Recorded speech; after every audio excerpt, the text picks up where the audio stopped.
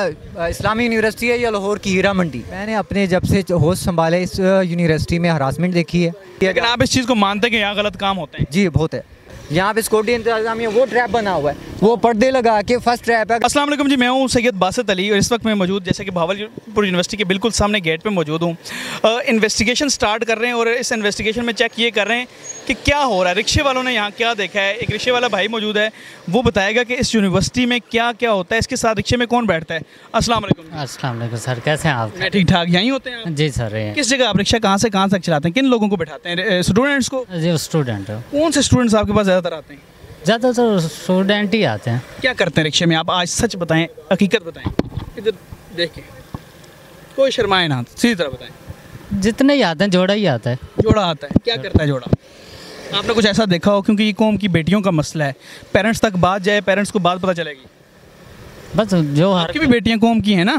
आप इस कौम कैसे हैं? सच बोलना सीखें। बताएँ। जोड़ा ही आके बैठते हैं यहाँ पे। जो सही मतलब जोड़ा ही आके बैठता है कि उन्होंने उनकी अपनी मर्ज़ी है जो मर्ज़ी करते रहे। कपल ज़्यादा होते हैं। कपल होते हैं? कपल। क्या करते हैं? नहीं बता सकते। शर्म आ रही है। बीस साल इस यूनिवर्सिटी में जो है दे चुके हैं बीस साल। तो इनसे पूछते हैं कि क्या सारे इनके क्या इनके शफात हैं? अस्सलाम वालेकुम। वालेकुम सलाम। भाईजान आप पहले ये बताएँ कि 20 साल इस यूनिवर्सिटी को आप कैसे दे चुके हैं? मैं बींग एम्प्लॉय सन यहाँ रह रहा हूँ मेरे फादर यहाँ पे बस ड्राइवर हैं। हाँ। और यहाँ पे मैंने ग्रो किया अपनी चाइल्डहुड से यहाँ पे हूँ। डॉक्टर मुनीर अख्तर तो वाइस वाइस चांसलर थे। अब जो डॉक्टर अतर महबूब थे ये पाँचवें वाइस चांसलर हैं यहाँ पे। आप क्या इंकशाफ करना चाहोगे? मैं ये कहूँगा कि मैंने अपने जब से होस्ट संभाले इस यूनिवर्सिटी में हरासमेंट देखी है। पहले तलबा यूनियन की तरफ़ से फिर उसके बाद जो है ना मैनेजमेंट की तरफ़ से ये कभी भी ये सिस्टम यहाँ पे रुका नहीं है कभी हरासमेंट का? हरासमेंट का। बड़ा इंकशाफ है। ये कहते हैं मैंने 20 साल से इस यूनिवर्सिटी को जानता हूँ। रहा हूँ अंदर रहा हूँ। मेरे आप एम्प्लॉय सन हैं? जी मैं एम्प्लॉय हूँ। इधर ही जॉब करते थे? हाँ जी अब मैं इंडिपेंडेंट हूँ। मेरा अपना घर है मैं इस्लामाबाद में रियल स्टेट का काम करता हूँ। अच्छा। और एफ़ टेन मरकज़ में मेरा हूँ। आपने ये इंकशाफ किया कि आप 20 साल से इधर हरासमेंट देख रहे हैं? जी बिल्कुल। ये मुबैना तौर पर इनका कहना है कि 20 साल से हरासमेंट देख रहे हैं। किस तरह की अमूमन हरासमेंट देखते हैं आप? पहले ये था कि जब यहाँ पे जो लोग आते हैं वो बिलो एवरेज हैं। जुनूबी पंजाब के लोग हैं बच्चे हैं छोटे छोटे बच्चे। वो आते थे। उसमें ये था कि पहले तलबा यूनियन जो कोई बैठा है किसी के साथ, उसको वो वो ब्लैकमेल करते थे। फिर उसके बाद ये चीज़ आ गई मैनेजमेंट के पास सिक्योरिटी मैनेजमेंट के पास। वो डिफरेंट लोगों को जो है ना टैप करते हैं, कपल को पकड़ते हैं।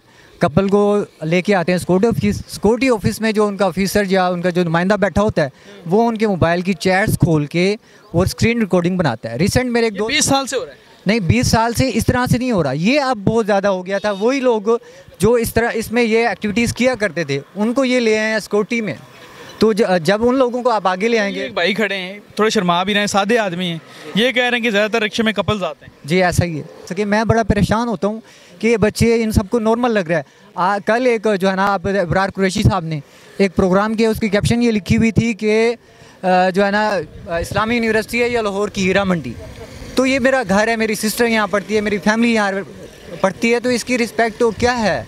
माशरे में क्या लग अब जो वीडियोस इस्लामिया से मुंसलिक भी नहीं है उनको भी इस्लामिया से मुंसलिक किया लेकिन गया आप इस चीज़ को मानते हैं कि यहाँ गलत काम होते हैं? जी बहुत है। बिल्कुल हमें हकीकत पसंद होना चाहिए ग्राउंड रियलिटीज़ के अकॉर्डिंग चलना चाहिए। आपसे क्या रिक्वेस्ट करेंगे? हुकूमत से मैं रिक्वेस्ट करूँगा कि जे बनाई जाए इसकी साफ़ शफाफ जो है ना इंक्वायरी करवाई जाए। जो लोग गिल्टी हैं उनको बाहर निकाल के फेंकना चाहिए और इस चीज़ों को जो है ना बंद करना चाहिए और स्टूडेंट्स को उनके राइट्स बताने चाहिए कि उनका मोबाइल कोई नहीं ले सकता। हॉस्टल वार्डन के अलावा उनसे कोई नहीं पूछ सकता कि वो दस मिनट लेट क्यों आ रहे हैं। यहाँ पे सिक्योरिटी इंतजामिया वो ट्रैप बना हुआ है। वो पर्दे लगा के फ़र्स्ट ट्रैप है अगर कोई बच्ची दस मिनट आप लेट आती है तो उसको क्यों सिक्योरिटी ऑफिसर के पास जाना पड़ता है? लेडी जो यहाँ पे बैठी हुई है वो कहती है जी सर से बात करें। जबकि सिक्योरिटी ऑफिसर उससे पूछ ही नहीं सकता कंसर्न वार्डन उससे सवाल कर सकते हैं कि आप लेट क्यों आई हैं? और बड़ी बात यह है कि, कि क्यों? इन्होंने बड़े अच्छे इंकशाफ किए बीस साल से एनी शायद समझ लें इनको कि बीस साल से ये देख रहे हैं। तो इनकी रिक्वेस्ट है हुकूमत से कि जी बनाएँ इंसाफ दिलाएँ बच्चियों की इज्जतें ऐसे मत ख़राब करें। ये हमारी कौम की बेटी हैं। बहावलपुर पाकिस्तान का ऐसा है ना? यूनिवर्सिटी पाकिस्तान की है ना? तो इनकी इज्जतें हमारी हैं, सांझी इज्जतें होती हैं, बेटियाँ सबकी होती हैं तो इनकी इज्जतों के लिए खुदा रहा बाहर निकलें।